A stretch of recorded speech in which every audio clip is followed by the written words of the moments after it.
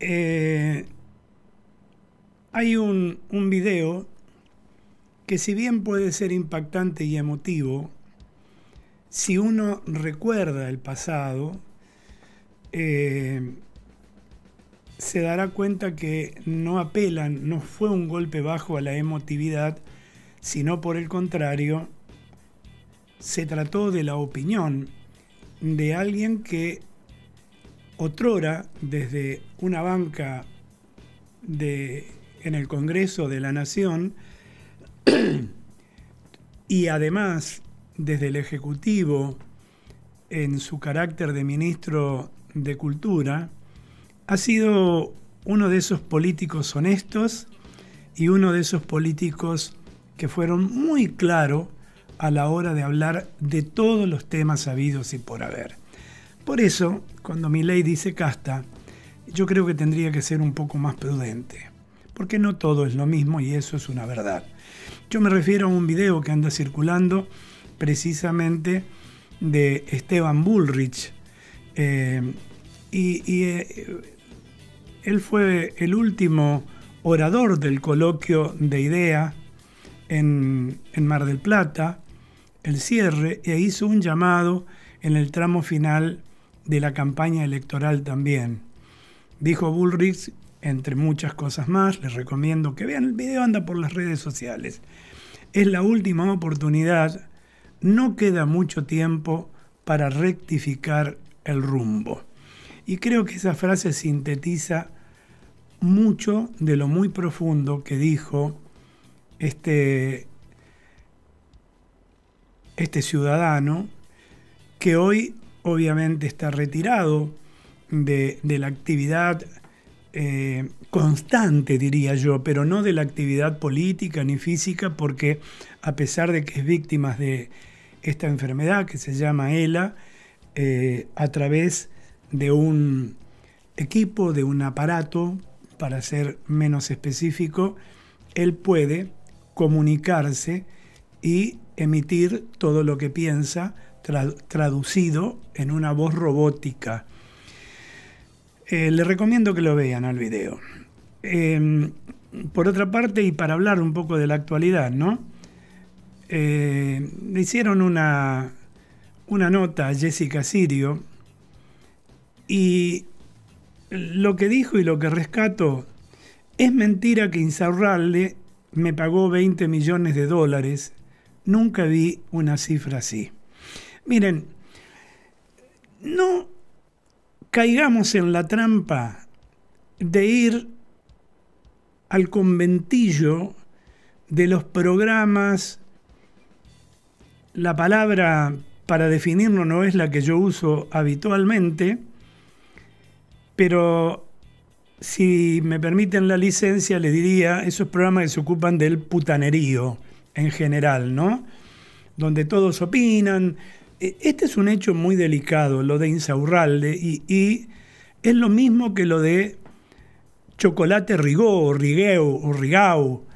Em, son dos temas que nosotros vamos a seguir, porque es lo que saltó por descuido, por casualidad, por lo que fuere, y lo más importante acá no son las sábanas de nadie.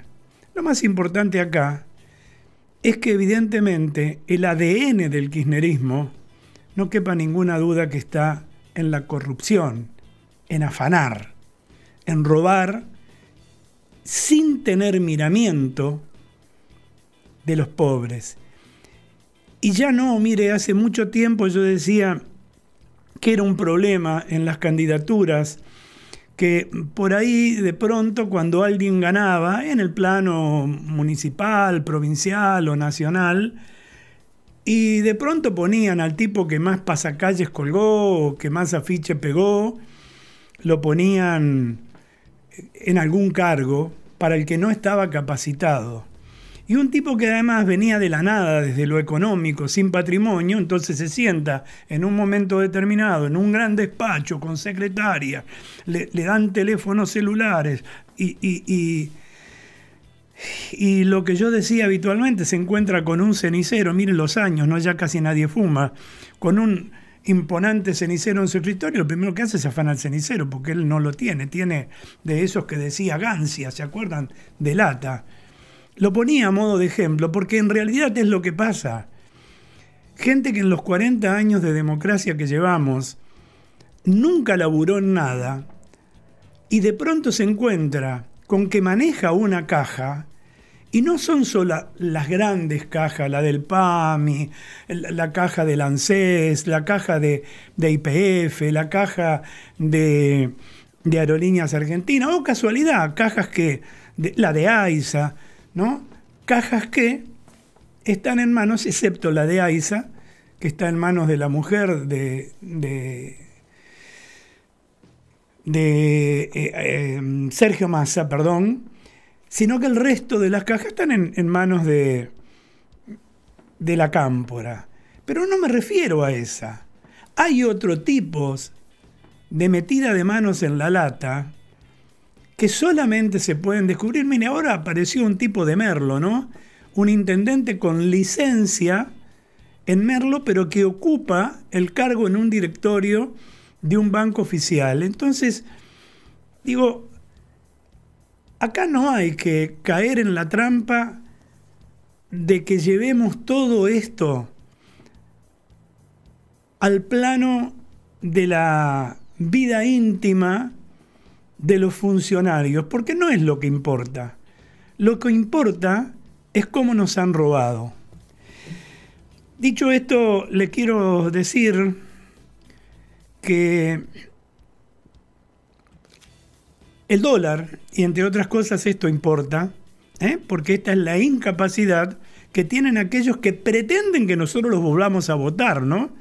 Bueno, algunos, como el caso de Insaurralde, ya no será porque tuvo que levantar su candidatura a concejal en primer término en Lomas de Zamora, de donde es y donde está, es intendente con licencia porque ocupaba, como todos ya sabemos, el cargo de eh, em, de jefe de gobierno, jefe de gobierno, jefe de gabinete, eso así se dice, jefe de gabinete de la provincia de Buenos Aires. Em, hoy el dólar 895 pesos, tocó en un momento determinado los 900 pesos y en el interior del país, un poco más arriba. Esto demuestra la falta de credibilidad, credibilidad que hay para con el actual gobierno, para con el mismo ministro de Economía que pretende ser candidato. Digo, ¿dónde está nuestra, a ver, nuestra capacidad de discernir entre lo bueno, lo malo, entre el corrupto y el decente, entre el tipo que es intelectualmente respetable y aquel que es un loco suelto, que por ahí de pronto se pone loco y dice tal o cual cosa, los tuvimos, ¿eh? Tuvimos mucho, no me refiero solo a mi ley. Y ahora que digo mi ley también de paso, ayer cuando comencé mi programa, no estaba previsto que yo hiciera un editorial sobre el coloquio de ideas y, las opiniones de mi ley en el contracoloquio, que él dice que no es contracoloquio sino que desde el lugar de ciudadano, como cada uno de ustedes, de ciudadano común, y de ciudadano común que además ha vivido todas las vicisitudes de los últimos años, poco más allá de los 40 de democracia, que tiene la República Argentina. Y no en esta profesión, sino dedicándome a la actividad empresarial permanentemente, acá en Buenos Aires, en el interior de, la provincia. Entonces me parece que como cualquiera de los ciudadanos que vivieron eh, todas esas circunstancias, incluso estos 40 años de democracia, nos asiste el derecho de poder opinar y nos asiste la obligación de tener que decirle a los más jóvenes, a los sub 40, porque ellos vivieron esta democracia de niños, de jóvenes, y sin embargo de pronto opinan sobre cosas que no conocen o que le contaron a medias. Yo dije ayer que en el medio de mi primer bloque que iba a suceder esto de que iban a ofender, porque cuando faltan argumentos para rebatir lo que uno dice, lo primero que hay es una descalificación. Y esto es lo que ha sucedido. Entre las cosas que dije ayer, dije que mi ley generó una brecha más en la República Argentina, como si fuera poco. Y en lugar de, de pacificar, lo que propone es todo siempre sobre la base de la agresividad, del impulso, de la, de la coacción, de la enemistarse con la libertad de expresión si alguien no piensa de igual modo. Bueno, y algunos respondieron, pero ¿saben qué? Denostando, ofendiendo, pero sin argumentos. Y todo lo que ayer yo expresé está basado en los hechos. De, más está decirle que entre las cosas que hicimos fue poner el video de, de, de, Miley, pusimos el, audio, pusimos porque no pudimos poner el video. Eh, y además hay cosas para decir hoy día. Pero no me quiero apartar porque miren, ya estamos en 18 minutos pasados y, yo tenía un editorial distinto para el día de hoy. Pero sin embargo, otra vez voy a romper el, el, formato de este programa. Porque aquellos que ofensivamente que quieren votar a mi ley, voten a mi ley. Quieren votarlo a Massa, voten a Massa. Quieren votarla a Patricia, voten a Patricia. Está todo bien. Eso es la democracia. Lo que uno tiene que advertir desde este lugar, sin duda alguna, es que, y porque en nuestra actividad, la que desarrollamos ahora, estamos obligados a informarnos más, a estar más al tanto, cosa que a lo mejor vos no podés hacer porque o estudiás, o porque tenés tu empleo, o porque tenés tu, tu, tu pyme, o tu negocio, o tu empresa, y entonces no podés interiorizarte de todo porque te absorbe tu propia actividad. En cambio, nosotros estamos obligados a enterarnos, a informarnos de todos. Y como digo siempre, no somos nosotros los protagonistas de la información. Otros lo son. Hombres y mujeres de la política, del sector empresario, del sector sindical, de alguna ONG, de algunas instituciones gremiales, políticas, etc. Recogemos esa información y se la presentamos a ustedes. Y ayer fue un día en el que mientras estábamos al aire se estaba desarrollando el coloquio de idea. Y el coloquio de idea es uno más de los tantos, no tantos, para mi gusto podrían ser mucho más, pero dos, tres encuentros de sectores de la producción argentina que se realizan a veces, y sobre todo en tiempos preelectorales, con aquellos que pretenden o que son precandidatos o candidatos, según el tiempo, a la presidencia de la nación, porque quieren escuchar qué es lo que va a hacer, qué es lo que va a decir. Porque cada empresa depende no es un, ente suelto, no es un satélite. Está inmersa en la macroeconomía argentina. Y entonces es necesario saber cuál es la opinión de cada uno. Y eso es lo que reflejamos ayer. Y eso es lo que voy a reflejar hoy, apartándome, vuelvo a repetirles, de mi, de mi, del formato de mi programa de Juntos en Red, un formato que tiene hace 12 años, siempre arranco con un editorial. Bueno, hoy este va a ser el editorial. Porque, porque ¿saben qué? Me molestó que algunos defiendan repitiendo, como hace, como hacen aquellos que adhieren a las ideas kirchneristas, cuando dicen eh, el Fondo Monetario es el culpable, el lawfare, está proscripta Cristina, etc. repiten, repiten, repiten mentiras, mentiras que le dicen los otros, no son culpables. Pero no se paran un segundo a analizar si esa mentira es tal o es una verdad. Y para eso hay que informarse. Porque si no caemos en que otra vez, en la misma trampa, la misma trampa de siempre. Y Milei hizo lo mismo.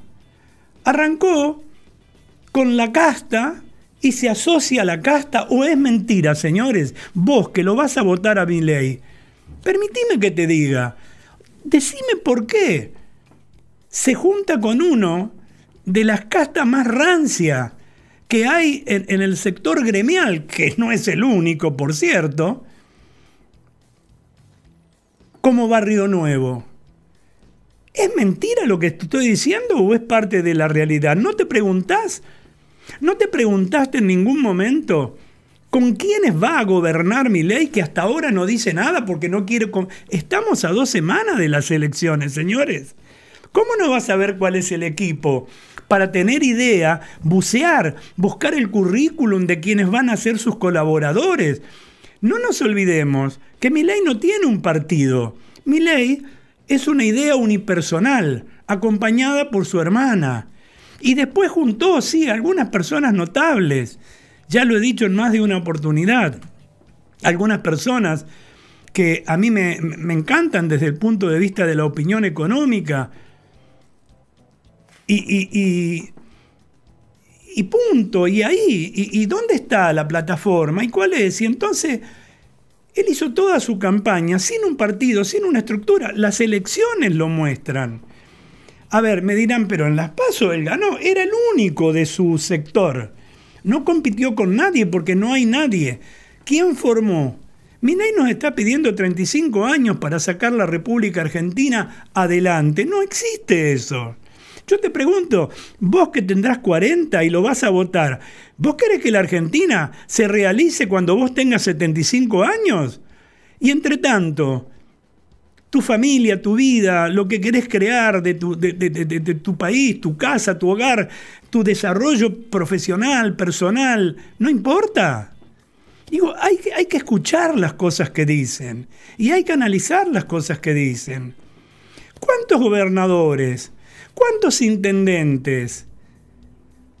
¿Cuántos presidentes comunales tiene mi ley para acompañar su gestión? ¿cuántos legisladores obtuvo o va a obtener en algunos casos donde todavía no haya habido elecciones, que son tres nada más, en el Congreso de la Nación para llevar adelante las leyes que se necesitan para todo lo que propone.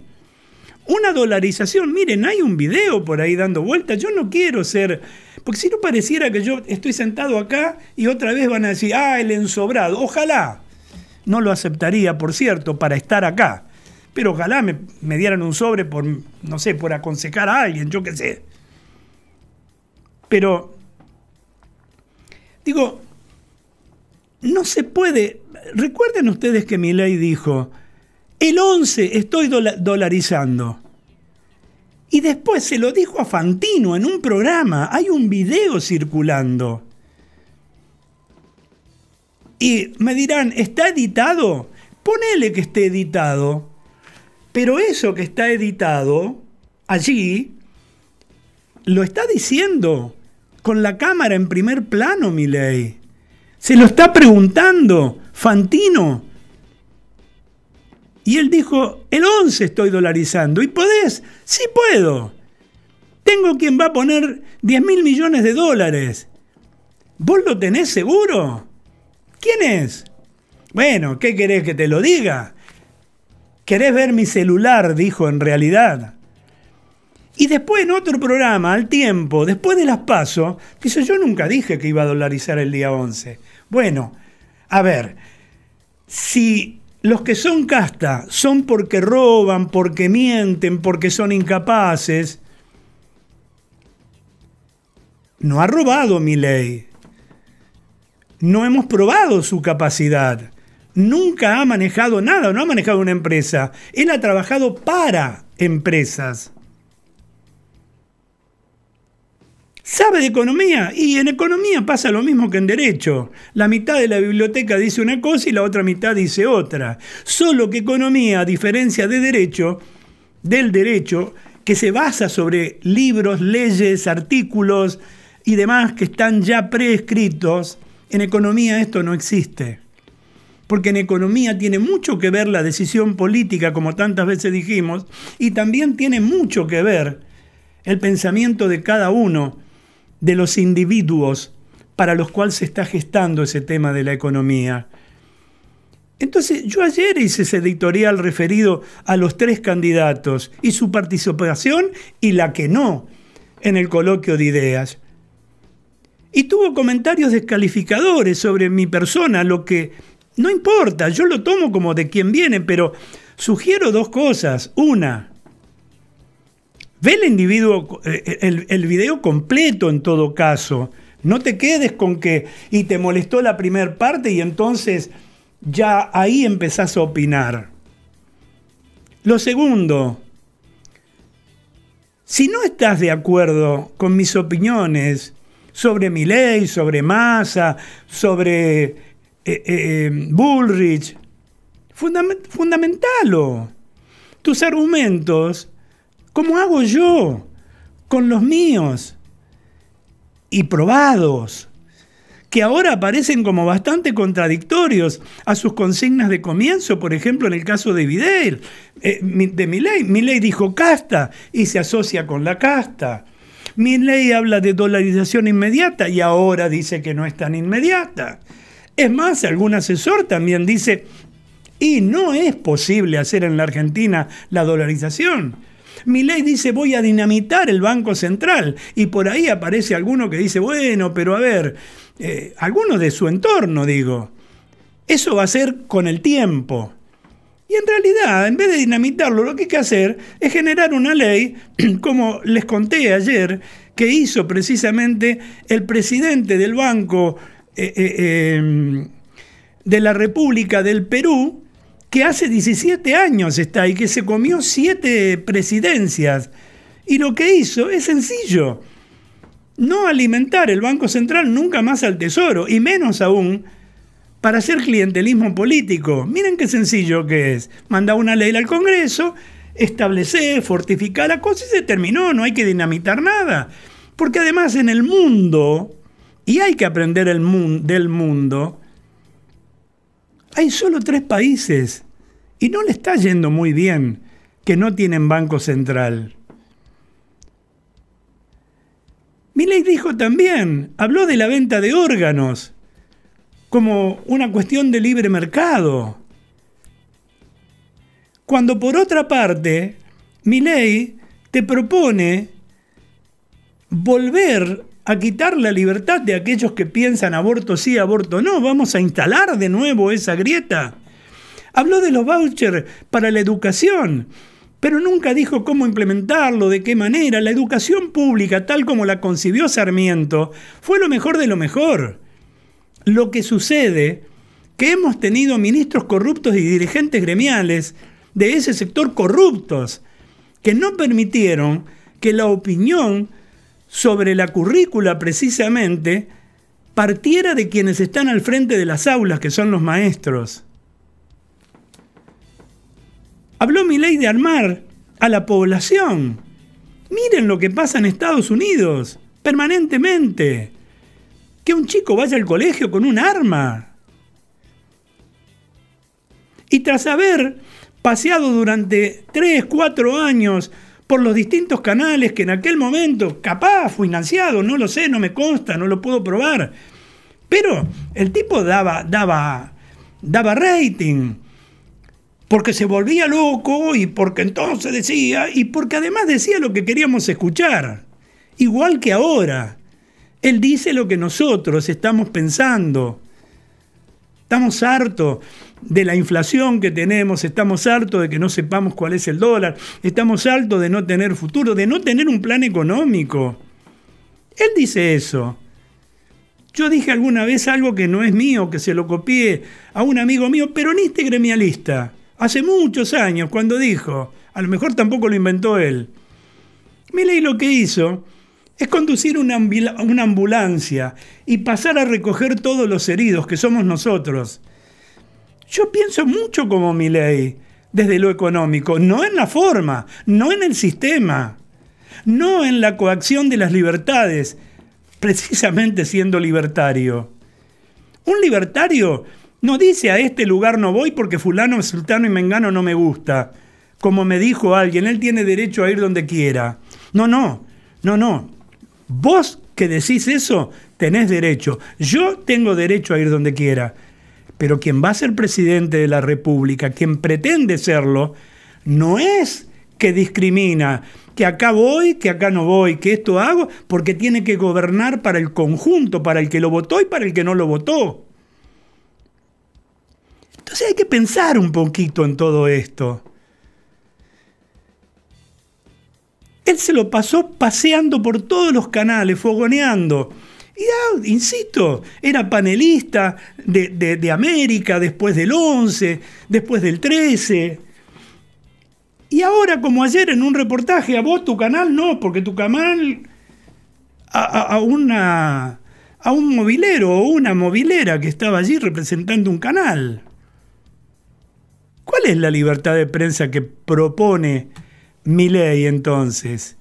Digo yo, porque si no nos estamos equivocando, porque si no estamos pensando en que, dale, todo da lo mismo y vamos a seguir, vamos a probar, a ver qué pasa. Cuatro años, cuatro años es mucho.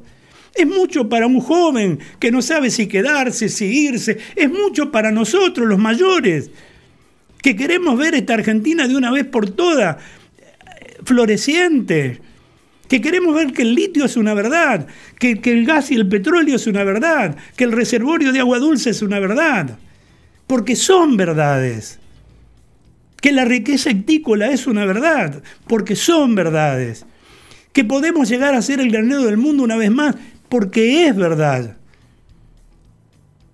Entonces no es cuestión de experimentos.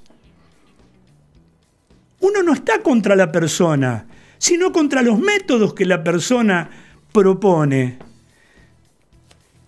Y en ese aspecto, claramente, ley lo que ha hecho es, de alguna manera, volver o tratar, mejor dicho, de apagar el incendio con un balde de, de nafta mucho de lo que él decía, en realidad, denostando también a otros profesionales, a un grupo de profesionales. Es el único dueño de la verdad, mi ley.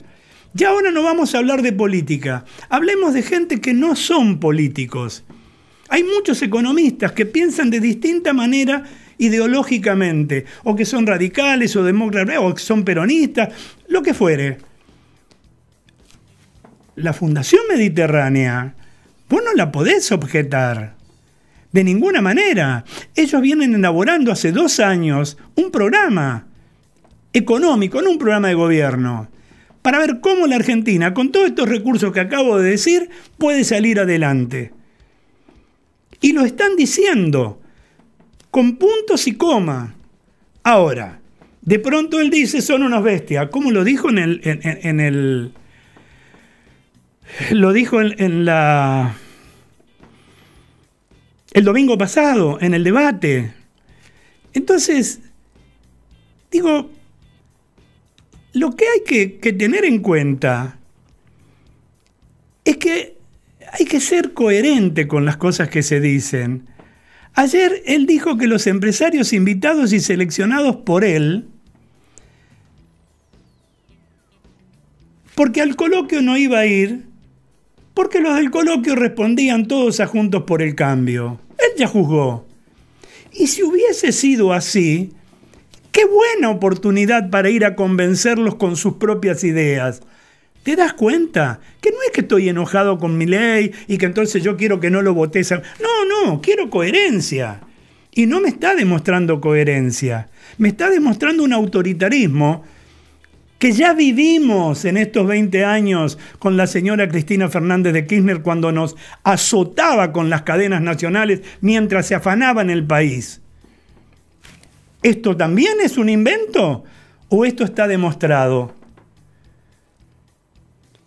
Y ayer dijo, frente a su coloquio, el que él armó, mintiendo también, ¿no? Porque lo hizo a la misma hora que en el coloquio de ideas, el oficial, el formal, iba a hablar nada más ni nada menos que Patricia Bullrich, al que él no quiso ir. Él armó el suyo, dijo, ah, pero hace cuatro meses que... Ponele que sí, vamos a creerle que hace cuatro meses que armó esto y que armó este día, esta fecha y esta hora. Bullrich no podría haber cambiado, como dije ayer, el horario del coloquio de ideas, porque no es ella la organizadora. Te invitan a tal día y a tal hora y vos que haces lo que vos querés, no. Tenés que adaptarte a las reglas. Eso significa respetar las normas. Vos, en cambio, lo organizaste y podrías haberlo corrido una hora antes, una hora después, no, no iba a cambiar nada. Y hacer lo propio. Ayer hubieron, porque ¿qué hicieron? Los empresarios escuchan a todo el mundo porque les importa, porque si no, ¿cómo manejan sus empresas? Por eso muchos se rajaron del país. Por eso muchas multinacionales se fueron y algunas nacionales se fueron de la República Argentina.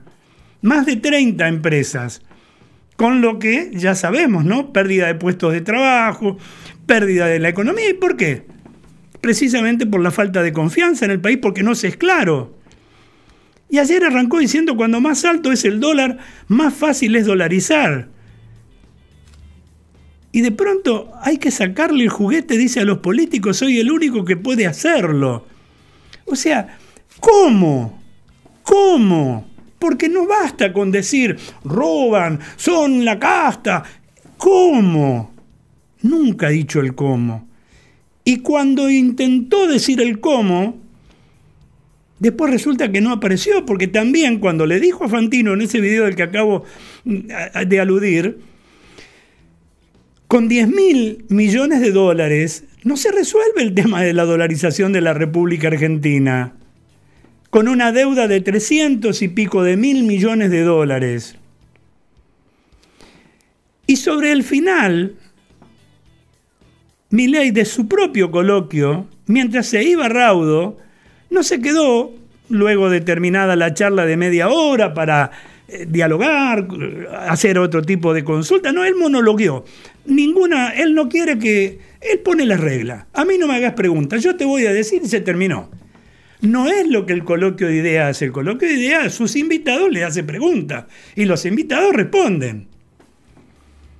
No solamente Bullrich estuvo allí, estuvo el presidente del Banco Central de Perú, como conté ayer. ¿Y qué terminó pasando? Que sobre la charla final de media hora, media hora para definirle frente a los empresarios lo que va a hacer del país, no hay más argumentos. Y si no te quedas para un, un feedback, entonces, ¿qué pasa? Es que no tenés, estás vacío de contenido. Y entonces tuvo un cruce con Martino y le reclamó, dice, ah, vos sos de la reta. Ahí ya descalificó. Y es verdad que el tipo era de la reta, era uno de los que apoyaba en la interna a la reta. Es el expresidente de HBC. HSBC. Y estuvo entre los equipos técnicos del jefe del gobierno porteño, sí es verdad. Pero el gesto que bien buena parte de los presentes no les cayó muy bien.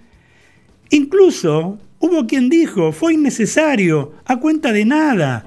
Te quedas pensando cómo actuará como presidente en un caso así. Y es inevitable pensar en listas negras. Eso dijo un CEO. Y además aclaró, Menem no lo hubiera hecho, todo lo contrario, le hubiera dado la bienvenida con un abrazo, dijo este empresario. Y antes del evento, Martino habló con periodistas y aseguró que el plan de gobierno nos dejó cerca del Rodrigazo. Patricia tiene un plan sólido y Milei presenta un plan disruptivo que en algún momento deberá explicar cómo lo llevaría adelante. Evidentemente no lo hizo ayer. Y sobre el cierre, hubo un CEO que destacó que está todo muy mal. Es un tema de confianza que se suma y agrava lo que pasa siempre con, con, el dólar en tiempos electorales. Ahora la confianza está quebrada y eso es un problema para el que vendrá. No será fácil lo que viene y es importante que dialoguemos y encontremos soluciones. Las peleas y las descalificaciones constantes no ayudan a nadie. Hay que tener calma, más en periodos electorales que generan una lógica incertidumbre. No hay soluciones mágicas, nunca las hubo. No hay atajos. Hay que trabajar mucho y confiar en que somos capaces de encauzar un proyecto juntos, que valga la pena, como dice el lema del encuentro. Hubo, hubo gusto a poco en el esperado evento paralelo que hizo Milei ayer. Y hubo quien dijo por ahí más de lo mismo y algún gesto que no gustó.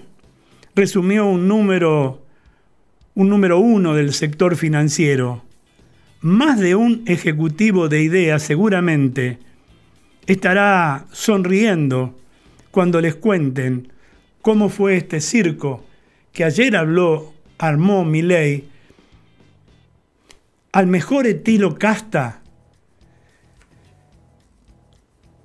como suelen hacer aquellos políticos que él descalifica, aunque todos no sean lo mismo.